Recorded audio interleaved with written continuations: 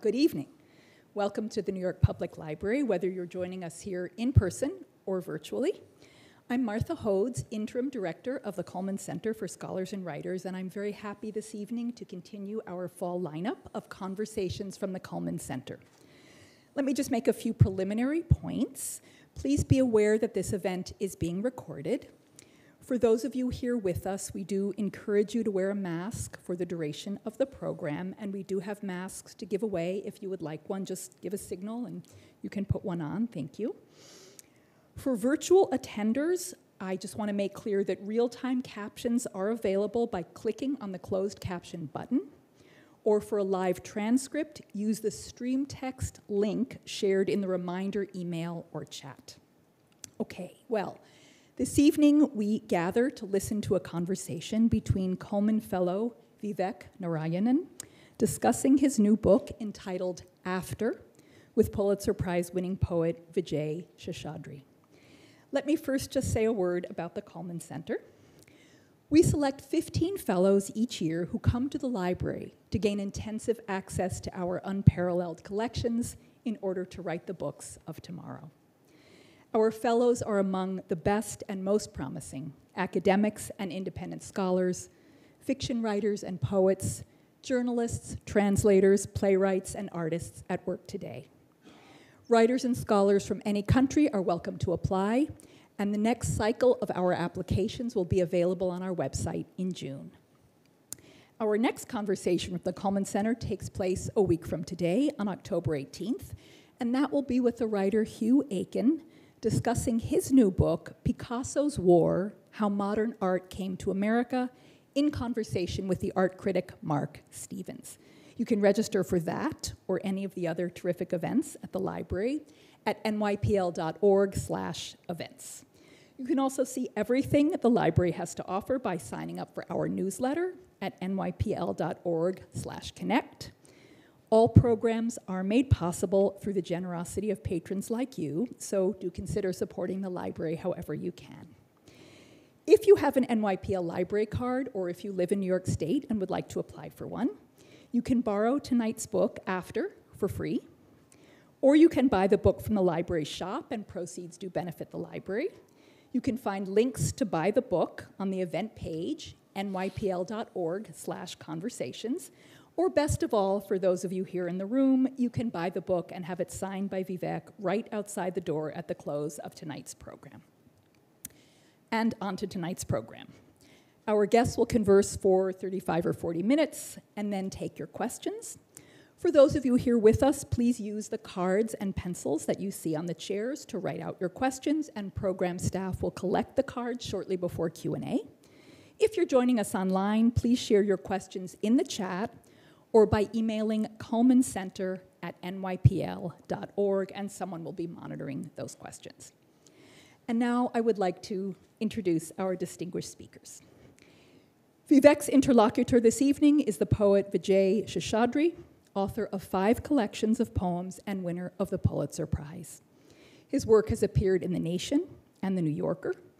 He's also the recipient of the Arts and Letters Award for Literature for Exceptional Accomplishment and has been awarded fellowships from the Guggenheim Foundation and the National Endowment for the Arts. Vijay teaches at Sarah Lawrence College and until this fall served as poetry editor of the Paris Review. Vijay speaks tonight with Vivek Narayanan, who, hold, uh, who held a Cullman Center Fellowship in 2015-16.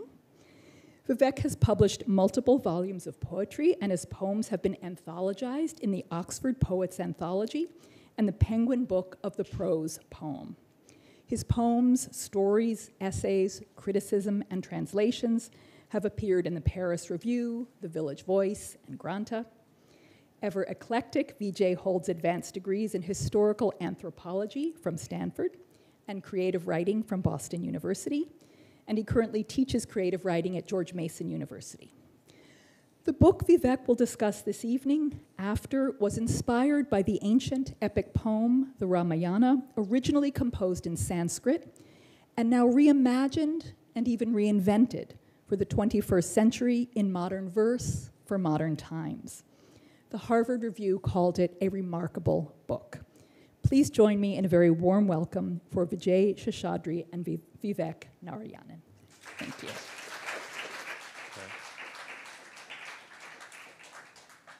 Thank you for having us, and uh, and I want to express my gratitude to Vivek for choosing me to talk with him, uh, because not only because the book is just an extraordinary, wild piece of imaginative work, but also because uh, of what I would call, I guess, and I think that's what I want to talk about with you first the astrological element of its presence in the world at this moment. You know. and of course, Indians are famous for their astrology, which is very sophisticated. And Indian astrologers could actually, uh, they had a working understanding of the Copernican theory of the solar system because they could predict uh, eclipses. And uh, so there's a lot of sophistication there. And uh, and I guess the appearance of this book at this moment is, you know, from your point of view, either remarkably auspicious or remarkably inauspicious. I don't know which. That, uh, you know, there's an intersection of the ongoing history of India and its ancient culture and the place that uh, the Ramayana has in that culture with a development in, and I think you would agree with this, we were talking about it before, in Indian poetry in English, where I think in recent years it has arrived at a full maturity and become, you know, one of the major English traditions of the world. And that's happened through uh, the course of the history of the Indian Republic, but it's you know, the literature generally has intensified in the past 25 years, I think, and, uh, you know, roughly speaking.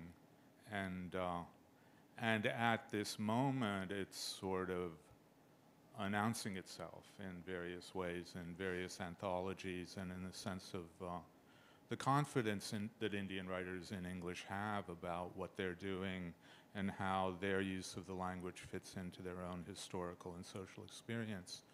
And uh, so the book stands at the intersection of those two things, and uh, and it is also coming in the 75th anniversary of the founding of the Indian Republic.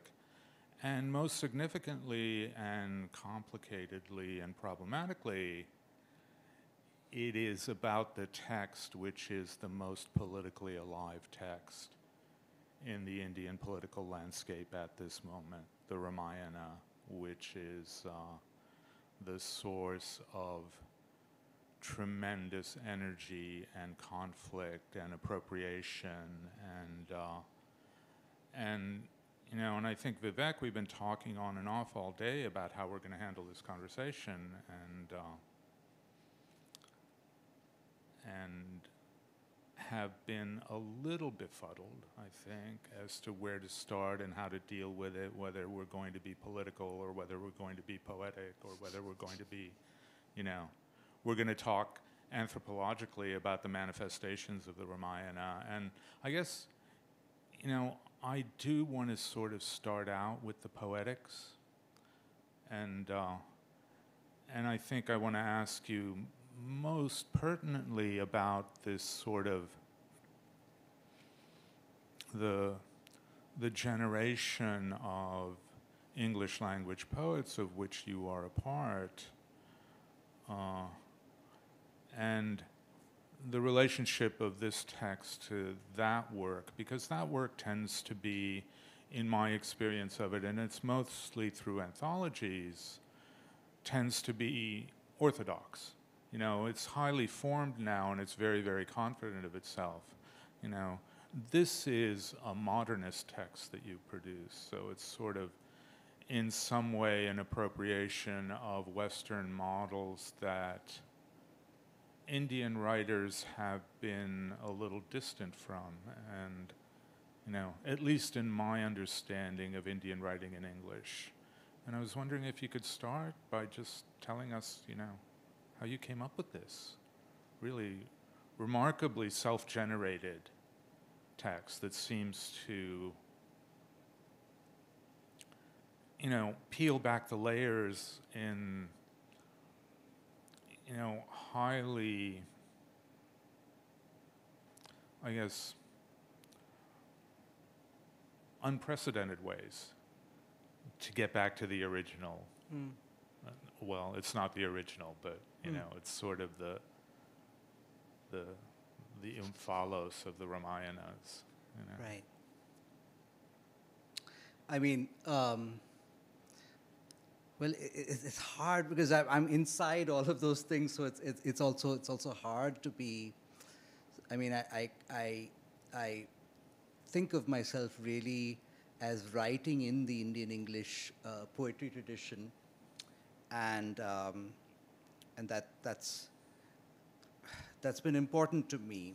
Um, and um, uh, so yeah i mean I, I, I feel like something is happening I, um, I think that one thing i feel which seems new is that is that um, the audience within india for indian english poetry has really grown larger and also a lot more sophisticated um, and is and now I don't know and now you know with the internet it's kind of very au courant. So then so then you know th- there's less of a, a kind of parochial mentality and more sort of uh, willingness to engage with world poetry.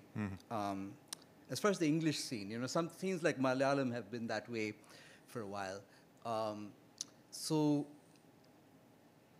yeah, I, I, mean, I, I didn't think very much about audience when I was writing this. I, I tried to block out any thought of audience because, uh, Yeah. in fact, and I just tried to work at the site of Valmiki. Right. Try to, uh, you know, try to make little things, uh, little edifices on the on top of the Valmiki. But, but, um, but, you know, ultimately, I don't feel like I'm. You know, I had to do. I didn't really exp- make any compromises for Yeah. a Western audience as Yeah. such, and I didn't really.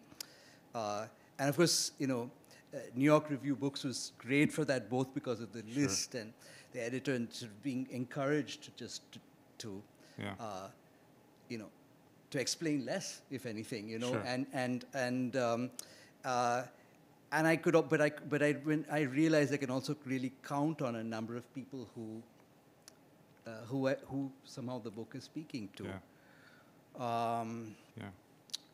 yeah. I Yeah, I mean, the book is a beautiful artifact, and uh, you know, and it's the perfect place to publish it in America. I think NYRB, and it's interesting to me in that regard because uh, you know there has been this constant engagement among Indian poets in English with the enormous mythology, you know. And what you get are, you know, Draupadi's night thoughts or something like that. Right, and right. you know, and and you know, some of those poems are plausible. Many of them are cringeworthy, you know, because there's this incredible energy to these texts and, you know, an incredible vitality in the way they interact with the culture itself, because this is a continuous culture and they are a part of its continuity. You know, this is the only really convincing piece of writing I've found that takes on, you know, the energy of those texts and responds, and in some way you can see the energy reflected in this book, you know, and uh, and the history sort of expanded out into a different you know, in, into an artifact that sort of transforms it. So, in one sense, it's like it is a modernist refraction and a reflection from a point of view that is not quite Indian, right, but is not quite located anywhere else. It has, you know, the you know the decenteredness of a of someone like Charles Olson or the decenteredness towards which Ezra Pound was working and never quite got there. And, you know, but at the same time, you really, you spent 12 years on it, you know, you got into it, and you didn't come up with little lyrics that show that you appreciate what Valmiki did, you know? Right, I mean, it wasn't a question of art appreciation or cultural appreciation or cultural signaling, you know, but an authentic step forward in this ancient tradition, I think, you know. So I'm not asked, that's not a question, I guess. It's, you know. No, I, I, I, it, it reminds me, you know, this um, uh, uh, Afri- uh, African uh, philosopher Paulin Hountondji, he criticizes this idea that uh, many people have of kind of this unplaceable African philosophy that exists Right. in the life. And he says we need to focus on texts. We need to find out what the texts are and read them closely.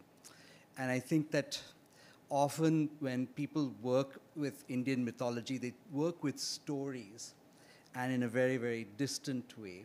And I think that what um, changed for me was when I started to really get closer to the text and closer to the nitty gritty of the text as opposed to just the story.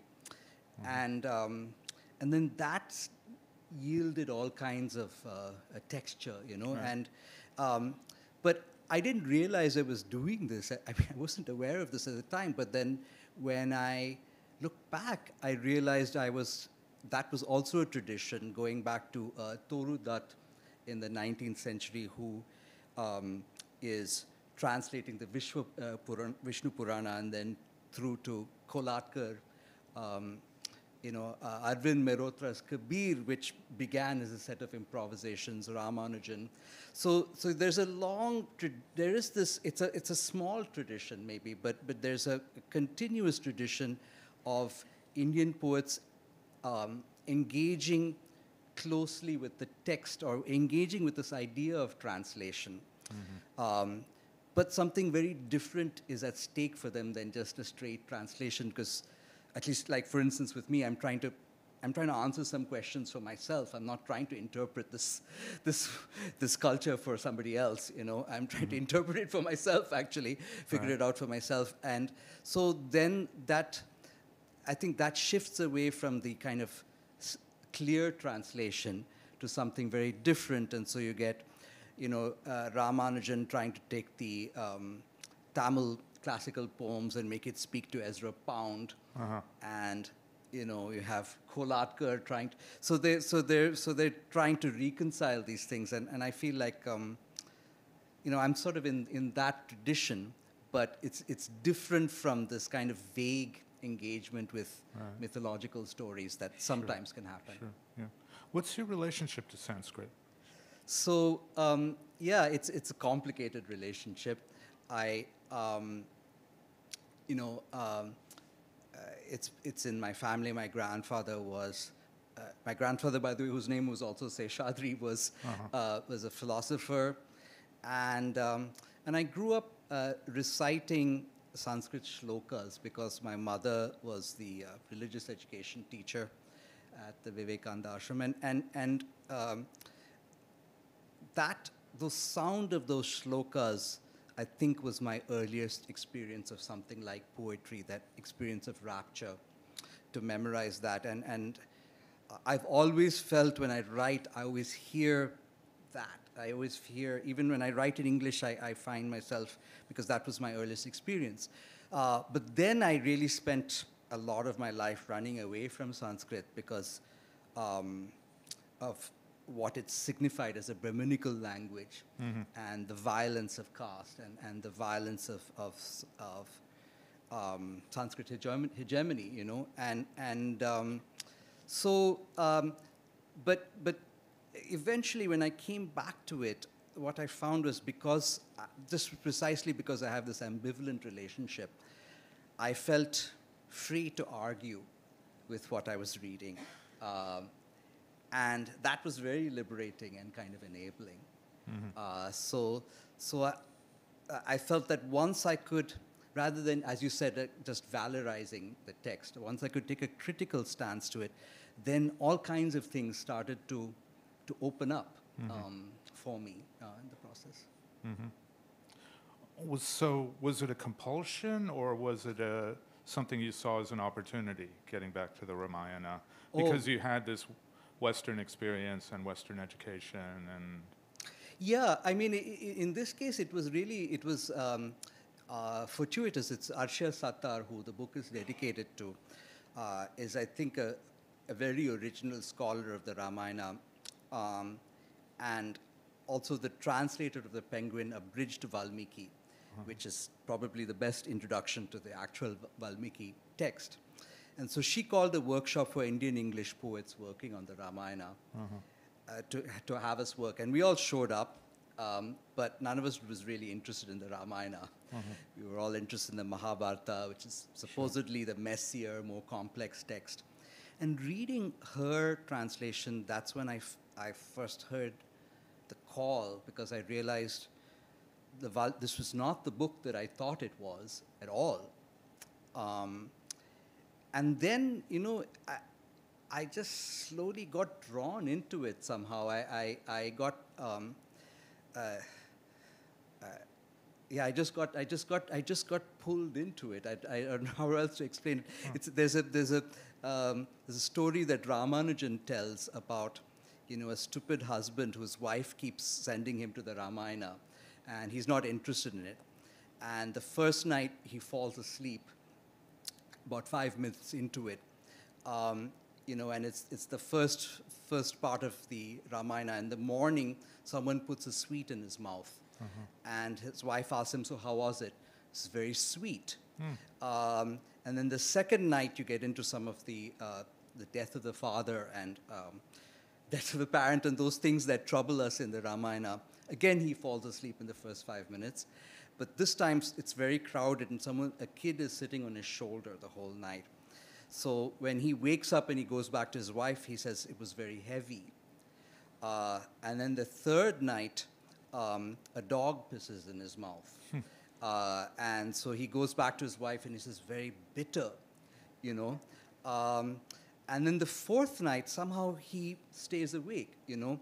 And uh, this whole thing is going on, and um, I don't know, I'm trying to remember the details now, but maybe like the actor playing Hanuman or something is carrying a ring, and the, they drop the ring on stage, and he says, "I will save you," and he jumps there. So he's so almost just by kind of sleepwalking, he's been pulled into the heart of the epic, and I felt like that. I started this when my uh, daughter was born, and uh, I would go to the Sahitya Akademi and do these things and fall asleep.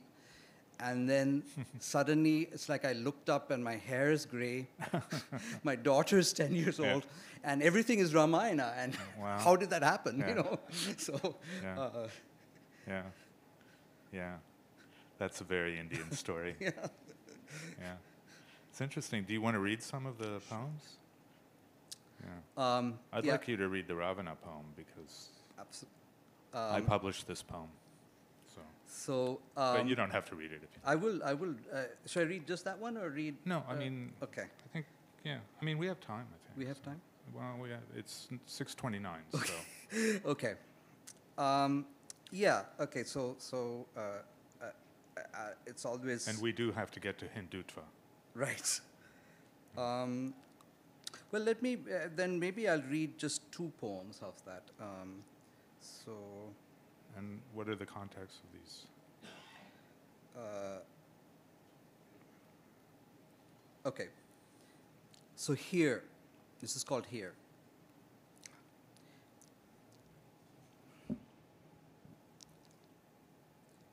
Here, where by Shiva's laser eye, desire became a wisp of smoke, forever free from the body, where in the tangle of trees and in the limbs and shoots that bind among them, the wind's fury entered the joints of beautiful boys and girls and bent them crooked, where the sons of Sagara were born to dig the soil and tear the earth in search of a stolen horse, their progeny turned to heaps of ashes. Where the river Ganga brought the land to life after such devastation, only that the Asura angels might hope on to some settled end. Here, where memory burns like fat in the wildfires and in the altars that seek to tame them, where the deer is still afraid and the hunter blind. This forest was never new, Rama. It's not yours, not even after you've mastered it. Um, and uh, yeah, this was uh, the, this was the um, one of the weird poems that the, the weird poem that Vijay was uh, kind enough to publish. Um, so yeah, I mean, um, as you can see, some of these are, are sort of, um, I mean, these are these are all improvisations, um, but I feel like that's in keeping with the tradition of the Ramayana because uh, the Ramayana is a history of uh, improvisations, and and in the oral tradition, you know, part of what you do as a bard is Right. uh, you use the stock phrases and you, you ring your changes. Yeah. Um, but um, so um, this is this is uh, uh, the villain of the Ramayana. Um, uh, it's more complex than that, um, but Ravana. And at the heart of the Ramayana, uh, like so many classical stories, is an abducted woman. Um, so this is just before that, as he approaches, and, and Ravana is um, Brahmin by descent, half Brahmin, um, and uh, he's fearsome, but now he's kind of um, dressed himself as a, as a humble Brahmin, uh, but um, his arrival is uh, portentous, something like that. Ravana. Dressed simply but not without elegance, holding ritual staff and parasol, radiating gloom like an asteroid with designs on a star, like night's curved shadow that swims across the earth, like the darkness of our sun in its deepest explosions, like the planet Budan about to take hold of Rohini, like Saturn advancing on Chitra, like the forest and cities and far ridges of infinity, each planetary body with its moons, each moon that governs a foregone set of inhabitants, like the afterglow of a gamma ray burst, like the coma of gas that covers the nucleus of a comet, like comets, dirty snowballs, signing the skies with their anger, like the coronal holes stirring in solar wind, like clouds obscuring double stars of dwarf galaxies, like the Doppler reading suddenly shifted into the blue, like the black sphere of the event, like the flare in a field of view, like the imaginary mind on the galactic plane already hollow, like halos and brown disks with spiral arms, like Jupiter's bloodshot eye, like a supernova in its galactic host, like the warm blooded animal's infrared glow, like the ionized air, like the untold spheres of the Kuiper belt, like the light curve of an astral orb diminishing in relation to time, like molecular clouds stanching all light behind them, like the protoplanet revealed in the eclipse, like our own moon in its uncountable rills, like the Jovian body with its back to the sun. It's terrific. Yeah. I guess we should say to the audience that uh, it's not a book of poems. You know, even though there are those lyric moments, two of which you introduced us to, that those lyric moments are a part of a kind of epic unfolding, uh, a constant wrestling with the text. you know. And uh, and one of the satisfactions of the book for me is that it's the wrestling occurs at a standstill. You know, it's kind of continuous and ongoing, and it's open-ended, and uh, you know, so it has that epic quality, and uh, and that's one of the really satisfying things to me about it. You know, and I'm glad that we sort of ended in, you know, the universe familiar to the Webb telescope because, you know, we can return to the sort of astrological theme that the other really relevant fact of the publication of your book now is its relationship to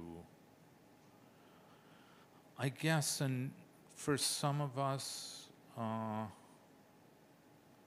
puzzling, and for many of the people I know in India, quite disturbing, and for myself, also quite disturbing.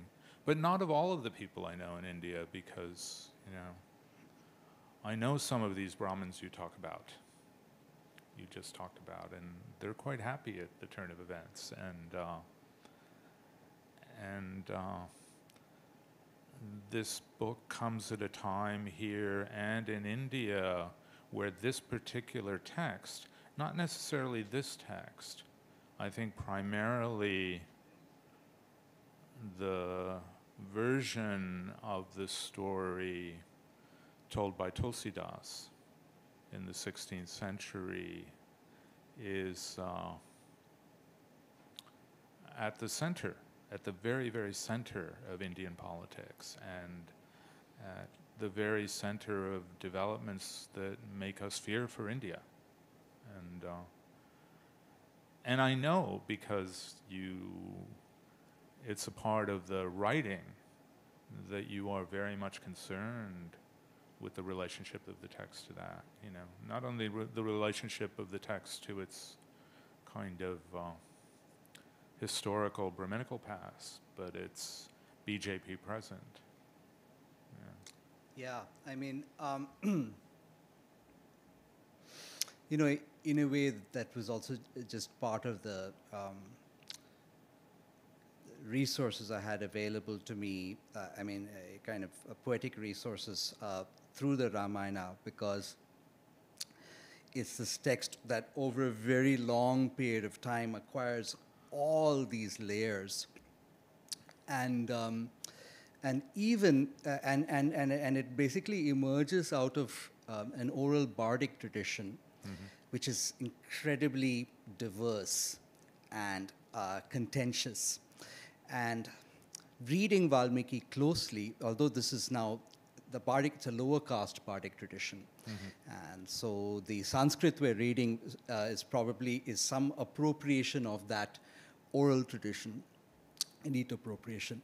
Um, but still, I, I, you know, you get the sense that they were trying to capture the diversity of the Ramayana tradition when they were doing this because uh, there are a number of contradictions, there are open contradictions, there are multiple, mul- multiforms, like stories that are very similar, that are just told with slight variations. And so they're already sort of gathering uh, the contentiousness. And and really, uh, the Ramayana becomes a site of contest, um, going right through uh, to the 20th century when you have, um, like, for instance, Periyar, the South Indian reformer, who uses it to criti- critique uh, North Indian hegemony, and then goes on. And, and the first uh, text in independent India, banned in independent India, was the Ramayana.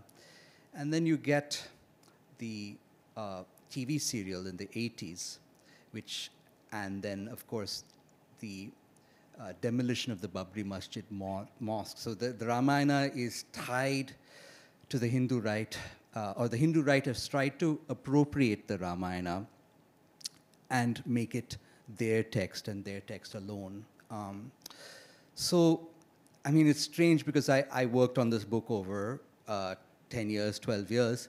And when I started, work, started working, I mean, and in that time, the political landscape in India has, I think, changed beyond recognition. Yeah. And the first turning point was, uh, I think, 2014, I was here at Cullman when that happened, and the unthinkable happened, and Modi was voted in. Uh, unthinkable, at least for us, you know, uh, liberals and lefties.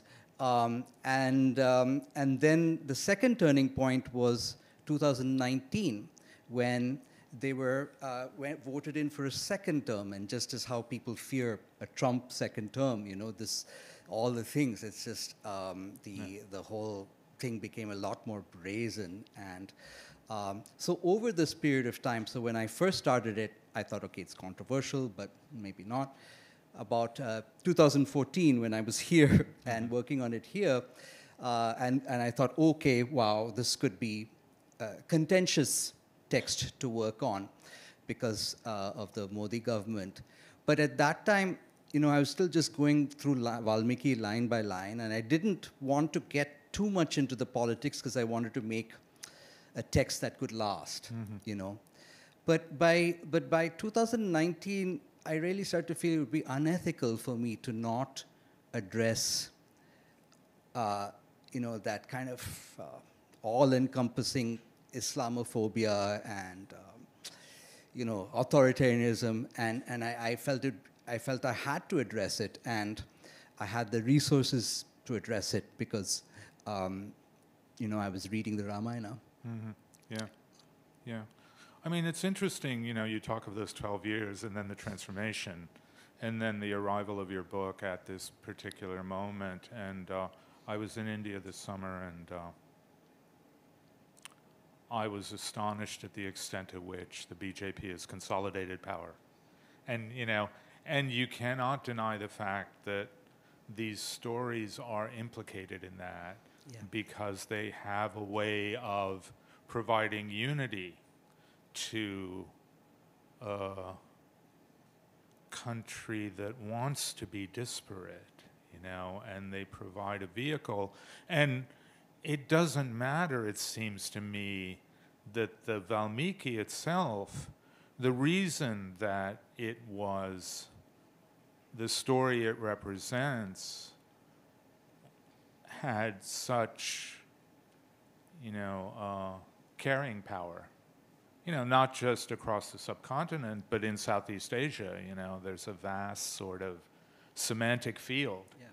that the stories of the Ramayana cover, and especially in theater especially in local theater and in you know in theater like the Ram Leela, and it's been going on and on and on because there's something so open-ended about it. Right. And the fact that they want to make it a closed text and that they're using it as one element in this incredible and frightening consolidation uh, is sort of you know it's not another one of the ironies that keeps this you know this phenomenon that is the Ramayana alive. I mean, it's really sort of, uh, and it wasn't. Uh, I mean, I think we only have one minute, and then we're going to open up the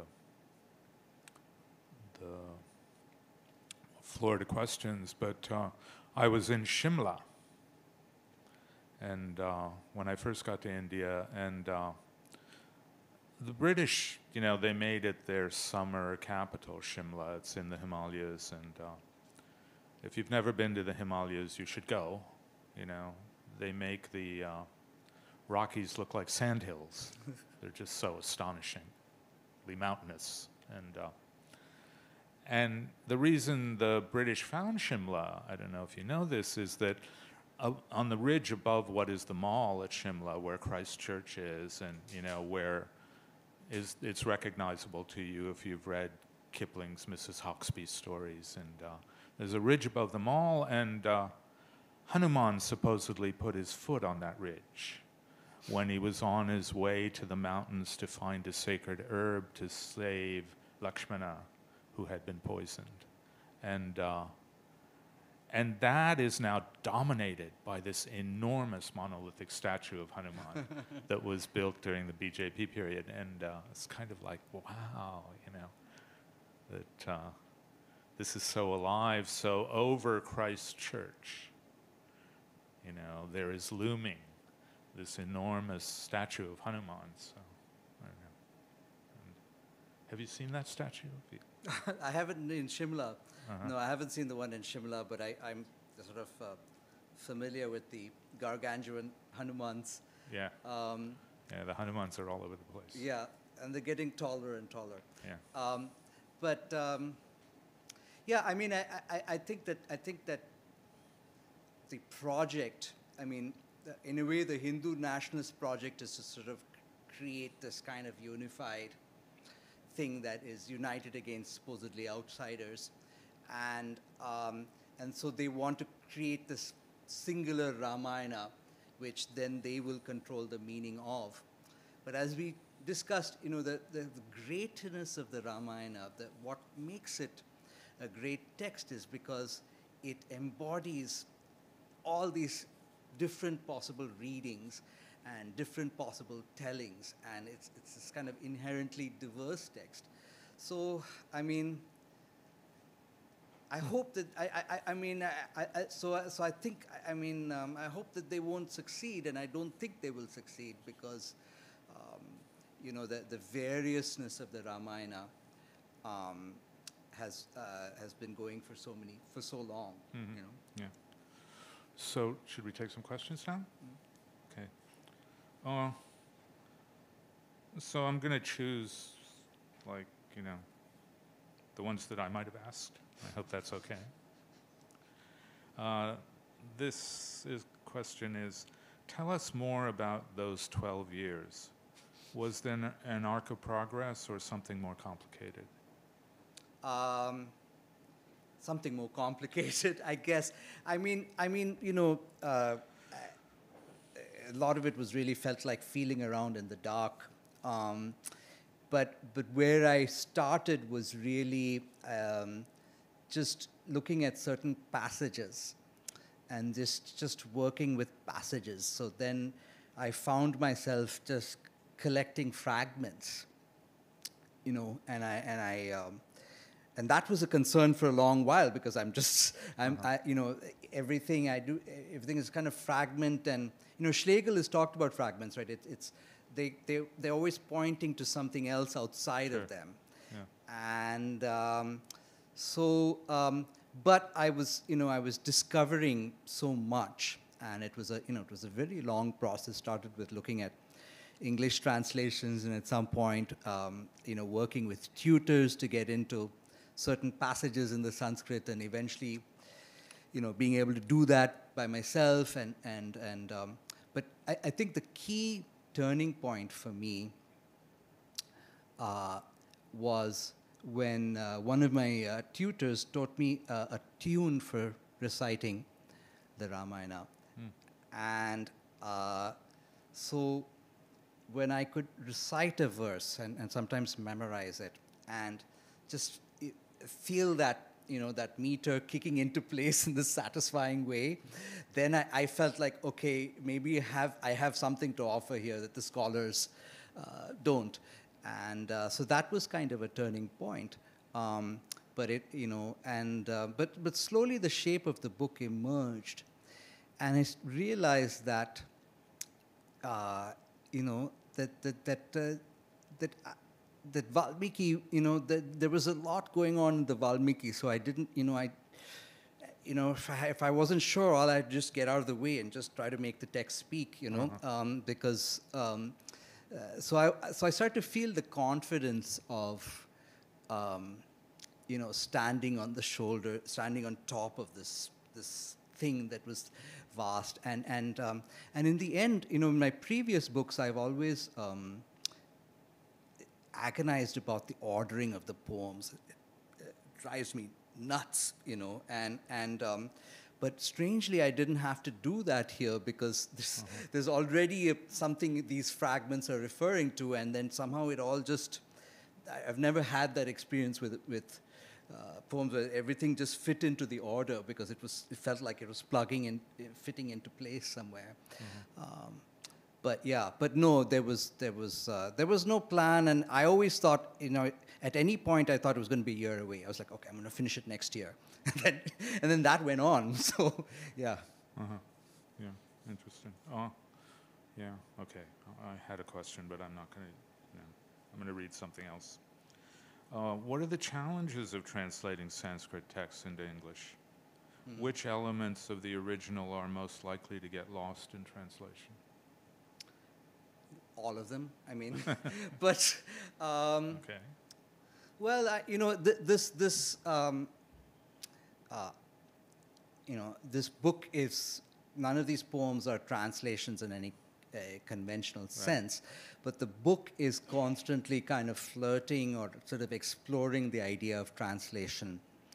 And so, um, so, so, so often there are multiple takes of a certain passage, you know, where I can kind of bring out, try to, try to bring out different things in those multiple takes. You know, one of those takes might be just sound, you know, and, um, and there's a poem there called uh, Kumbhakarna Sound System, uh, which is a poem in the Sanskrit, it's just an explosion of sound. Sure. So I just got a friend of mine who's a kind of experimental composer based in Chennai uh, to write a kind of experimental score. So, um, so I was just trying to get at this in any way, knowing, right, knowing that that ultimately, for me, you know, even a translation, it's not about being uh, you know, there's, there are res- ethical responsibilities in a translation, but it's not about just about being faithful. It's about bringing something new into the language in which you're writing. Yeah, yeah, yeah. Well, that connects to the next question because uh, someone asked, you know, could you comment on the title after, Right. right? And that's sort of uh, a tradition in American poetry where people write versions that aren't translations but are inspired by poems in other languages. And and I think you're using the title ironically, or you, you're using it in fairly complicated ways, right? It's not simply that this is after Valmiki in the sense Yeah. that, you know. Correct. I mean, I mean, it, it is it is that too because it's kind of playing with the the sort of after tradition. But I mean, but when I really knew that, I mean, the point at which I knew this was going to be the title of the book is, um, uh, so, you know, uh, Valmiki has seven books, and um, at the end of this uh, sixth book, uh, you know, Ravana is killed, the war ends, and Sita has returned. Uh, but then there's a seventh book uh, called Uttarakanda, uh, where you know everything unravels. All the, the all the, the, the, successes of the kingdom, everything seems to fall apart, um, and and uh, and that's also the book where Rama dies, uh, and uh, you know everybody dies and so on. And and um, so there's a so so that's called the Uttarakanda, and Uttara could be later uh, or after. Uh, so, so, um, so I realized that I mean, I mean, this book, this last book of the Ramayana, even though it's uh, so problematic, was key in a way because it's, you know, it's like after the happy ending, then you know, it's like. The, the prince ends up banishing his, Yeah. you know, the king ends up banishing his wife, you know, to the, the forest while she's pregnant, and all of this stuff happens.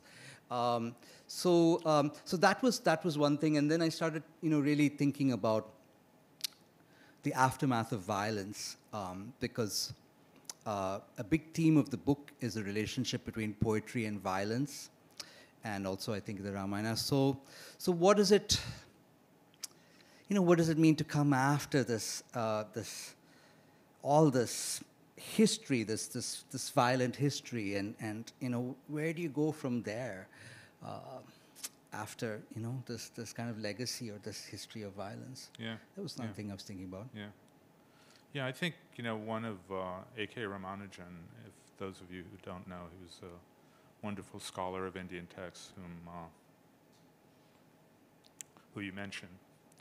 And, uh, and he had uh, a terrific metaphor about the epics that, and it was from crystallography, if you remember that, that crystals form in the flaws in old crystals. That's how crystals grow. that there are flaws occurring, and they're and not flaws in the sense of errors or failures, but fissures and uh, seams, and it's that that's where new crystals form, and uh, you know, and I think this is certainly kind of uh, the pertinence has to do with that. That somehow the interest in this book really has to do with the fact that it's an organic formation out of uh, seams and elements and gaps and fissures in the old text. The, you know. Yeah, absolutely. And and and there, there you know, the, when you start to read the Ramayana more deeply, you realize there are all these questions at the heart of it, and there are questions that don't seem to resolve themselves, and any attempt to kind of resolve it only leads to more problems, you know, and and so it's uh, it's this kind of the, this attempt to, f- to finally answer that question, but then that just seems to lead to, you know, more questions and, and so on. Yeah. So uh, I guess I think we have time for one more question. Okay. Okay. I'll give you the biggest one. Is the Ramayana 100% mythology? You mean, in other words, is, is there something uh, factual in it? Uh, like, Well, did I, it really I happen? guess the questioner means mythology versus history. Would that be the kind That's of fair.